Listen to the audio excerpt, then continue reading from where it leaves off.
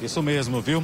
Inclusive, este caso aconteceu no setor Garavelo, depois que a Guarda Civil Metropolitana descobriu que a dupla iria fazer mais uma entrega de linha de cerol, né, que é a linha chilena, Ita, a linha chilena, para um comprador. O menino de 17 anos, o adolescente de 17 anos, era o responsável em é, organizar toda a logística da venda. Já o pai de 38 responsável pela entrega. Só que numa dessas entregas ele acabou se dando muito mal e acabou sendo preso e apreendido, o menor de 17 anos, pela Guarda Civil Metropolitana. Ao meu lado está o Guarda Civil, que é o Wagner Rodrigues, vai dar mais informações para gente através de denúncias e também pela ousadia de como eles agiam pela internet. Vocês descobriram todo o esquema, não é isso? Bom dia, Douglas. Bom dia a todos que nos assistem. É, para nossa surpresa aí, né? Muitos pais falam que não sabem o que os filhos fazem de errado, esse aí trabalhava junto.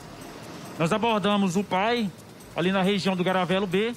Ele estava na motocicleta e em atitude suspeita, quando nós fizemos a revista com ele, foi encontrado uma grande quantidade de dinheiro, em torno de dois mil reais trocado. Ele entrou em contradição várias vezes sobre a procedência. Quando fomos fazer a verificação veicular na motocicleta, encontramos dentro do compartimento da motocicleta dele mais de 8 mil metros de linha indonésia, que é pior do que a linha Concerol a linha chilena, já muito conhecida. Indagado dele sobre aquele produto, ele nos confidenciou que o filho dele fazia a venda e a parte dele, como pai, era fazer a entrega e o recebimento desse dinheiro. Nós fomos até a residência deles ali na Morada do Sol, no setor noroeste, onde foi encontrado mais uma grande quantidade de linha. O filho dele menor também foi abordado no local e os dois foram conduzidos à central de flagrantes. Né, o delegado ali, muito sábio, enquadrou eles numa lei aí, que é a lei contra a ordem tributária, uma pena de 1 a 5 anos de prisão.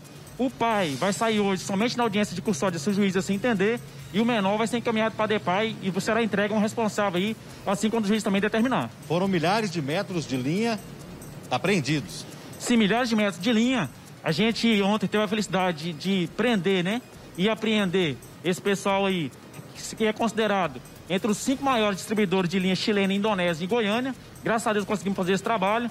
A Guarda Civil Metropolitana tem feito essa campanha Pipa Sem Cerol, foi antecipada né, antes das férias por conta dessa pandemia. A criançada, a molecada está mais em casa e ter começado antes, né? Os festivais, soltar as pipas aí pelas ruas. Agora, qual o valor de cada carretel e como que eles conseguiam esses produtos para revender? Carretel eles estavam vendendo entre 40 e 60 reais, podendo chegar até 70, dependendo da quantidade que a pessoa comprava. Segundo eles, pedem esses carretéis de fora, né? Chegam via SEDEX, via correio para eles, e aí eles fazem a distribuição.